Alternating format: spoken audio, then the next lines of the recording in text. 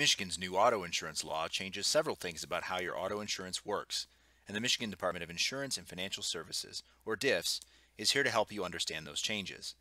One of the more prominent changes is how your medical bills are paid if you are hurt in an auto accident. There are six PIP medical coverage levels available to you.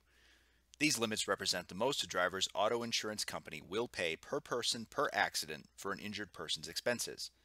Your choices are unlimited coverage, up to $500,000 in coverage, up to $250,000 in coverage, up to $250,000 in coverage with PIP medical exclusions, up to $50,000 in coverage for Medicaid participants, and there's also a PIP medical opt-out for named insureds with Medicare Parts A and B. Please note that some of the choices have qualifications that you need to meet before you can make that choice.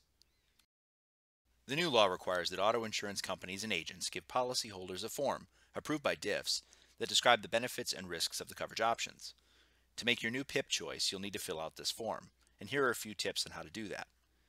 First, note that the sample form you see here may not look exactly like the form that your company or agent gives you.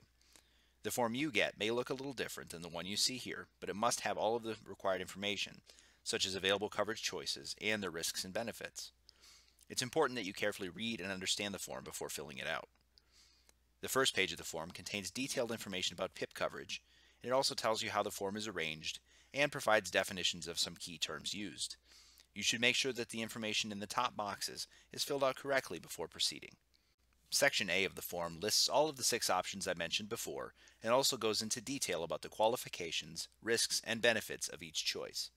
Please note that the risks and benefits are different for each choice, so you should read and understand all of them before making your choice. Section B of the form is where you make your PIP coverage limit choice. It's important that you write your initials next to one, and only one, of the options available to you.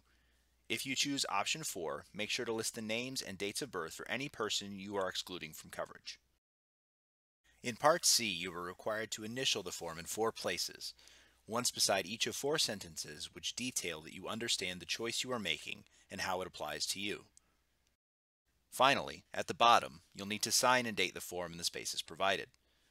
Please note that if you don't fill out a form to make a PIP choice, your policy will be issued with unlimited coverage as the default, and you'll pay the premium associated with unlimited coverage.